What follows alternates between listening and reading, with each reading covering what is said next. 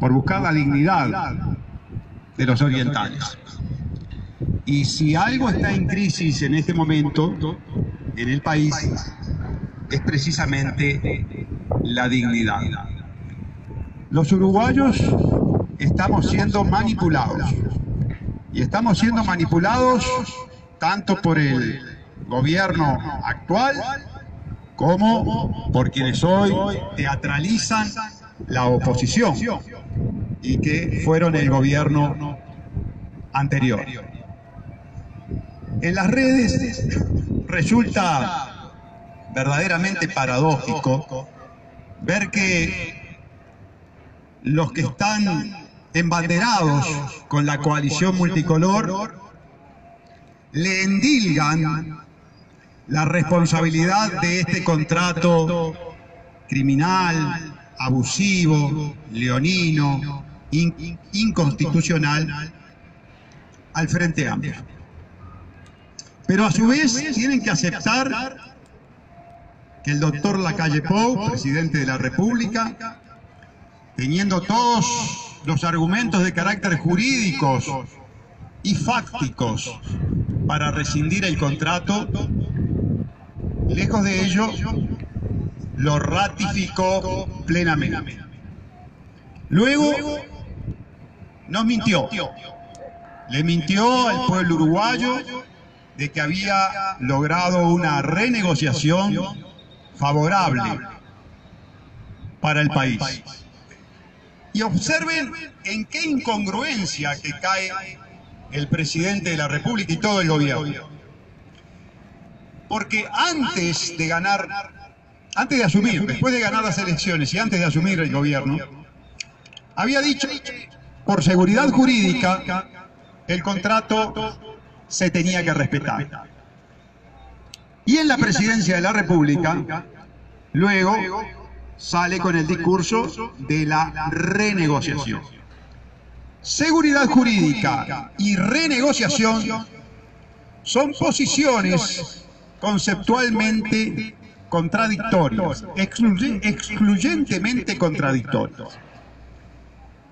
Y la empresa, debidamente asesorada, después que el presidente nos miente, la empresa se encarga de desmentirlo, de efectivamente comunicar a la población que no se había renegociado absolutamente nada, que todo esto que queda definitivo ya estaba acordado.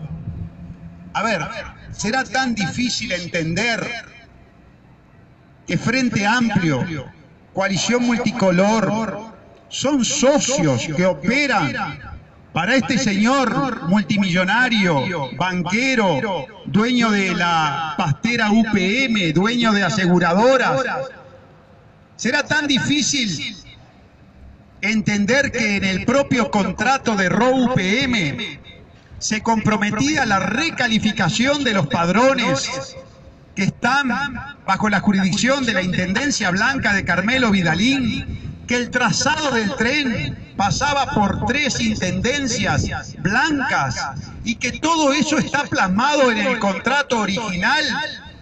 ¿Ustedes creen que la empresa va a contratar con un gobierno si no tiene acordado con el partido que domina esas intendencias, que va a dar todos, todas las aprobaciones para que el contrato llegue a buen fin? Hay que razonar hay que atar cabos, hay que analizar. El político sabe envolver. El político es camaleónico. El político necesita en campaña electoral el voto del pueblo. Pero ya se comprometió, se comprometió con las empresas que pagan las campañas electorales, se comprometió con las agencias calificadoras de riesgo que operan para los prestamistas. Tienen doble discurso. Una cosa es lo que dicen en campaña electoral y otra cosa, como lo demostró el presidente de la República, cuando llega a la presidencia, ratifica lo actuado por sus socios, la coalición Frente Amplio. Por lo tanto, amigos, esta, esta lucha que se da en las redes, este enfrentamiento que se da en las redes, es un error. Es una forma de sucumbir a la manipulación del político. Por eso es importante que aún cuando seamos pocos, podamos reflexionar con elementos objetivos de prueba, con declaraciones del propio vicepresidente de UPM, Petri Jacana, que dijo, acá no se renegoció absolutamente nada. Y es lógico que diga eso, porque si no sería admitir que en el primigenio contrato se fue abusivo, se fue ilegal, se actuó contra derecho. Y las empresas bien asesoradas, por supuesto, no caen en esos errores. Y no tienen necesidad de manipular al pueblo, porque ya compraron a los gobernantes. Entonces, ¿por qué es importante este fogón artiguista que exalta el principio de no venderé el rico patrimonio de los orientales al vil precio de la necesidad? Para desenmascarar, para demostrar el embuste, para saber que esta empresa compró a la clase política y viene por el recurso más preciado que tiene nuestro país y que tienen todos los seres humanos del planeta Tierra, que es el recurso estratégico escaso que se llama agua dulce. Y Uruguay tiene la bendición de ese recurso.